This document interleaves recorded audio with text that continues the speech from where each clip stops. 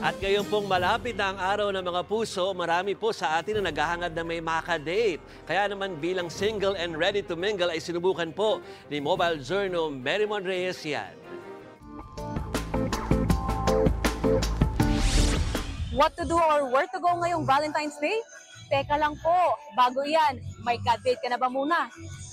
Dahil nga season na ng pagmamahal, tinry natin mag-search for love online. Risk taker yarn, tingin-tingin sa meetup groups at pages, swipe here, swipe there sa apps, hanggang sa boom, may nakamatch tayo. Hala, game raw siya makipag-meet. So syempre, dinoble check muna natin kung legit yung profile. At since totoong tao naman po siya, nilaban na natin. Sa Quezon City Memorial Circle namin naisipan na magkita. Sige, mototaxi pa girl. At nang makarating na nga tayo, kinakabahan pa ako noon kasi baka nag-ghost ako.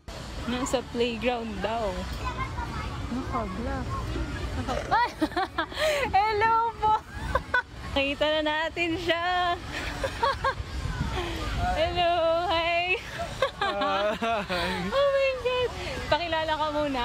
Uh, I'm Jolo. I'm Angelo. But yeah, Jolo for short. Nasa, ano ko sa? Nasa Quezon City Circle kami. Kung saan kami mapupunta? Sponty, as in very sponty.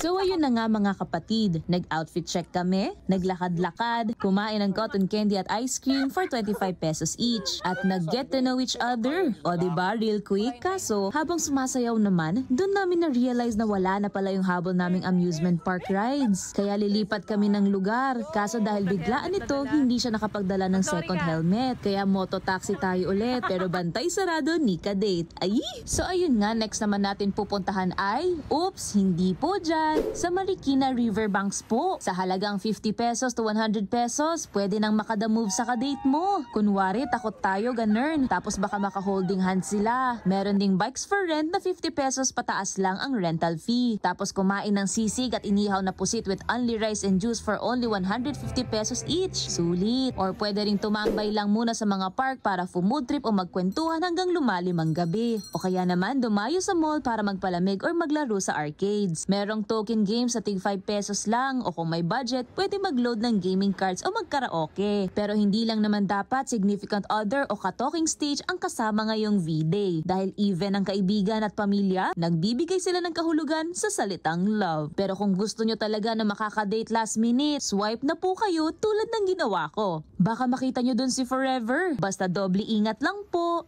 Tapos na kami! Hi, we're done! Goodbye! Happy Valentine's Day! Happy Valentine's Day! Gigi ka pa, another date. Yeah. What to do? Where to go? Check. May ka-date? Check. At sana kayo rin po.